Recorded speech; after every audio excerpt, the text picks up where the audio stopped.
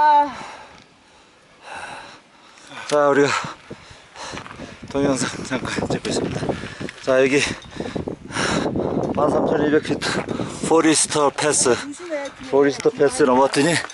자 저 반대편에 저렇게 보이고 이쪽이 계곡이 우리가 지난 하루 이틀 동안 우리가 헤매던 계곡이 저 밑에 있습니다. 여기 와서 우리 미키 hi 미키. 우리 임그룹님 hi 임그룹님. 아이고 죽겠다. Hi. Hi 제이슨. 하이 제이슨. 아.